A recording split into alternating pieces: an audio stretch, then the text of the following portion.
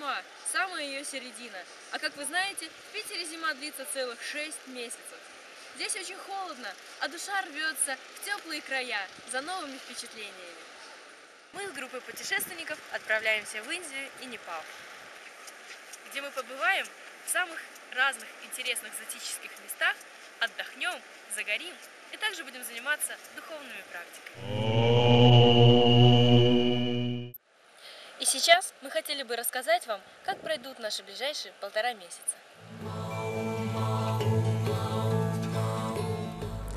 Наше путешествие начинается 5 февраля. Мы вылетаем из Санкт-Петербурга в столицу Индии Дели. Здесь мы увидим храмовый комплекс Лакшми-Нараян, президентский дворец и усыпальницу императора Хамаюна. Погуляв по столице, мы переезжаем в Агру, которая расположена примерно в 200 километрах э, к юго-востоку от Дели. Достопримечательности Агры признаны ЮНЕСКО мировым наследием. Мы посетим э, чудо света Тадж-Махал и еще несколько интересных мест, таких как месторождение Кришны, жемчужная мечеть и королевскую часть города. Вернувшись в Дели, мы летим в Бангалор, крупнейший научный центр Индии. Его еще называют Силиконовой долиной Индии, так как здесь сосредоточено много IT-компаний. Здесь мы долго не задержимся и переезжаем в Путапарти, 160 километров севернее Бангалора.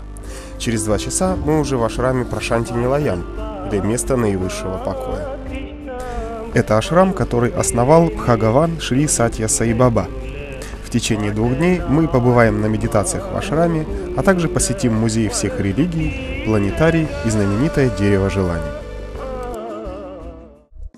После плодотворной духовной работы мы на джипах отправляемся на Гоа, штат Индии, известный своими пляжами и тусовками. И начнем мы с Палалема, который считается самым красивым пляжем Южного Гуама.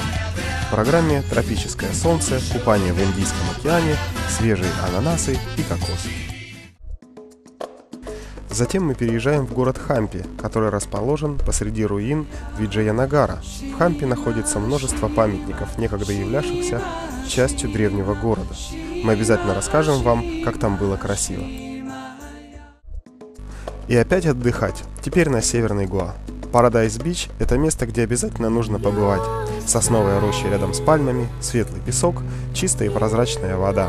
Недаром сюда съезжались хиппи со всего мира. Хорошо отдохнув, мы возвращаемся в Дели и сразу улетаем, но не домой, а в соседнее королевство Непал, страну Гималаев. В столице Непала Катманду мы посмотрим на буддийские ступы, побудем в большом буддийском монастыре и в особых местах силы. Затем съездим в соседний город Нагаркот, где встретим рассвет, любуясь снежными пиками Гималаев.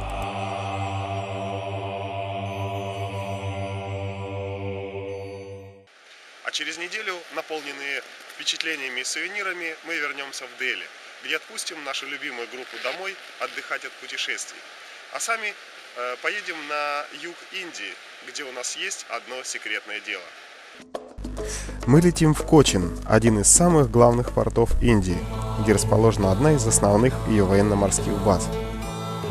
Оттуда мы едем в Варкалу, которая входит в число наиболее популярных курортов штата Керала – этот штат также является важным центром паломничества, и это одна из причин, по которой мы едем сюда. Кроме отдыха, нам предстоит обучение для того, чтобы представить по возвращению домой новую программу. Через две недели, отдохнувшие и наполненные, мы возвращаемся в Дели и 14 марта вылетаем домой в Санкт-Петербург.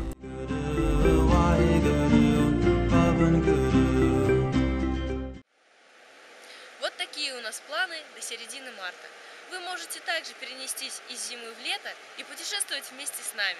Смотрите регулярные выпуски о наших путешествиях на Волшебном ТВ.